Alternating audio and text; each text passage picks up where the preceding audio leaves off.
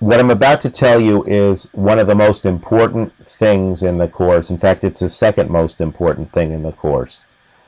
Let me navigate to my computer and notice that I've got two drives on my system. I have a C drive, my internal hard drive, and my, I have my external thumb drive, my external USB thumb drive. Now, I'm going to double click on that thumb drive and show you something. Earlier, when we created our NetObjects Fusion site structure, we were prompted to specify the name of a folder that would contain our project work for the ePortfolio.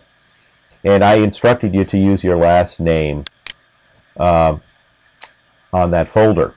I'm going to double click on that and notice there are three objects in there, but two in of particular interest to us. This file that has the little nuclear fusion symbol on it, that's the design file that NetObjects Fusion uses to arrange the objects in the layout of your, of your website.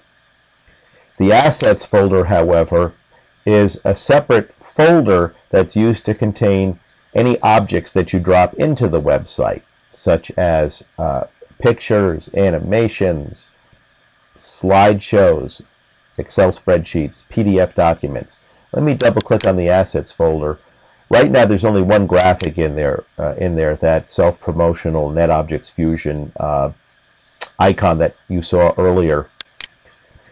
On my desktop, I have three items. I have a self-portrait, I have a PowerPoint slideshow, and I have the gradebook that we worked on earlier. I'm going to right-click on these and cut them, and I'm going to click inside this assets folder and paste them into the assets folder.